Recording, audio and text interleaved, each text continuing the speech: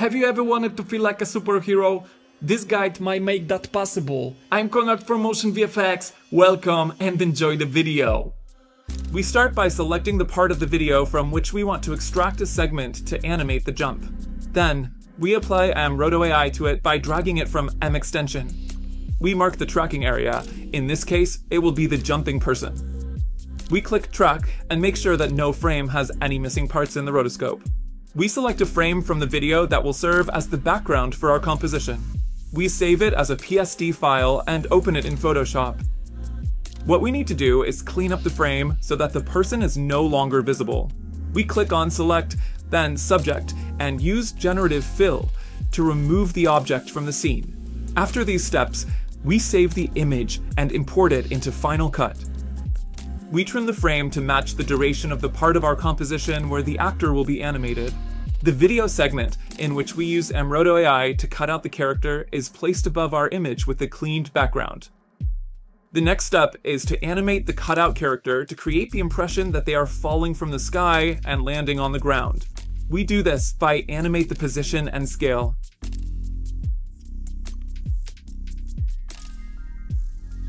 We make sure that our animation is linear to create a smooth transition between our animation and the character's original movement. Smoothing the animation could create the impression of a lack of fluidity. The next step is to place everything into a single compound clip to make the following steps easier to perform. After placing everything into a compound clip, we use the blade speed tool to speed up the animation segment, giving our composition more dynamism. To add a bit of a blockbuster feel to our animation, we will add a dust impact effect at the moment our actor lands on the ground. We go to mExtension and look for a smoke element that fits our composition. After selecting the appropriate element, we need to match it to our composition. In our case, the shot is static, so there's no need to track the smoke element. It's enough to adjust its timing, position, rotation, and scale.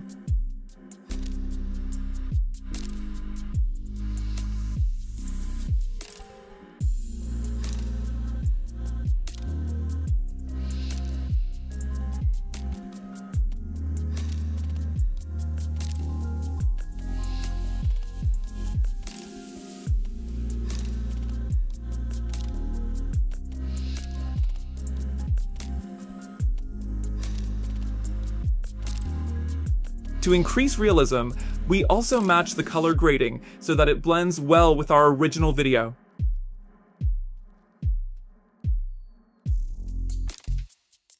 After placing our smoke element, we can apply motion blur to our animation using mFilm Look, which can be found in M Extension.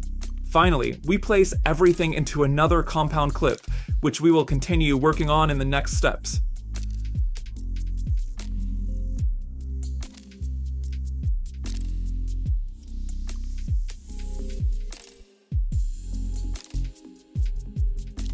I think we need even more of a wow effect at the moment our actor lands on the ground. To achieve this, we'll add the Quake transition to our composition. We find the spot on the timeline where the landing occurs and use the blade tool to make a cut. We then place the transition at the cut point.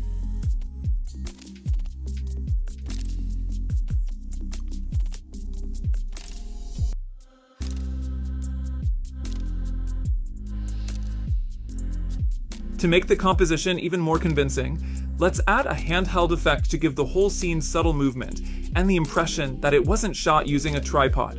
These kinds of tricks also help give the entire animation a more cohesive look. Finally, as always, we'll use mFilm Look to color grade our video. This time, however, I'll show you how you can easily copy filters from one clip to another. After applying the color grading we like, we select the clip we want to copy the filters from and press the shortcut Command plus C. Then, we select the clip we want to paste the effects onto and use the shortcut Command plus Shift plus V. In the window that appears, we choose the specific filter we want to paste.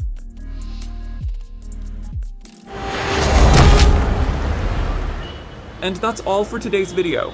If you enjoyed it, please leave a subscription and a thumbs up. Cheers!